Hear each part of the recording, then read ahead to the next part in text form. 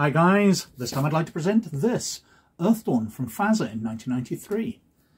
Now this is fantasy, so has elves, dwarves, etc. in it, but it's post-apocalyptic fantasy. Because magic levels in the world increased so much that creatures called horrors emerged. Creatures which were so destructive that the intelligent races had to retreat into kaers, which were cities underground. Now the magic level's going back down, so the intelligent races have emerged once more to try and reconquer the surface and that's when Earthdawn is set.